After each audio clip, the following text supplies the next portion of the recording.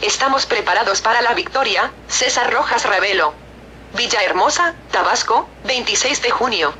El candidato de la coalición Compromiso por Tabasco, PRI Verde Panal, a la Diputación Local por el noveno distrito, César Rojas Ravelo, celebró la tarde de ayer un cierre regional de campaña en la explanada del mercado de la colonia Tierra Colorada, donde fue acompañado por más de 2.000 personas, entre ciudadanos, líderes naturales y delegados de las colonias Indeco, La Manga 1 y 2, Casa Blanca y zonas circunvecinas.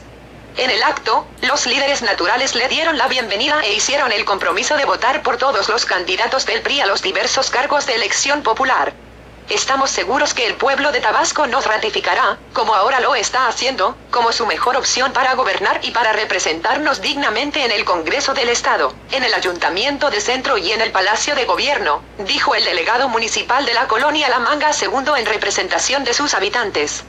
Entre porras y aplausos, el abanderado priista dijo estamos preparados para la victoria este primero de julio, nada más que no la suelten, y como respuesta recibió al unísono el vitoreo de su nombre.